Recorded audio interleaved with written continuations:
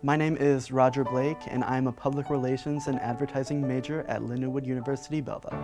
I think the best part about being a public relations and advertising major is that it allowed me the ability to break out of my shell and be someone that I didn't think I could be. What we get to do is meet people from all different backgrounds and places around the world.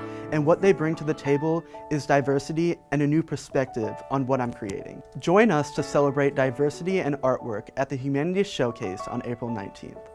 This is me, I am Humanities. When the sharpest words wanna cut me down